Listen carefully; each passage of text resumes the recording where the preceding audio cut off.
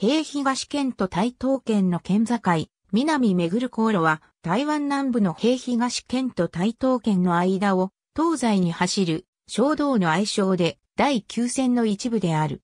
日本統治時代の1939年に風大路と命名された。戦後、道路名も小道第9線に改称し、現在に至っている。地元での故障は南めぐる航路である。南めぐる航路には講義と競技、二つの意味がある。講義の南めぐる航路は、平東風港から台東馬蘭までの区間を指す。競技の南めぐる航路は、平東風港から台東立人までの区間を指す。1934年に建設が始まり、1939年に完成した。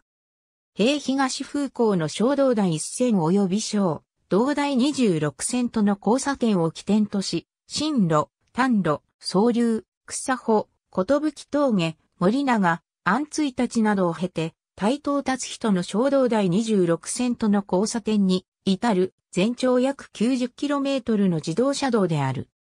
南海航路改善計画により、2車線しかなく、慢性的な渋滞が続いていた、大野マリ合金論村近辺は、海岸線沿いに4車線化された、全長 3.5km の高架橋が2017年10月に開通し、ことぶき峠を含む県境区間のバイパスも2019年12月23日に開通した。これにより、距離にして約 20km、時間にして約30分短縮が図られた。中華民国統治時代は戦後という略称を用いる。ありがとうございます。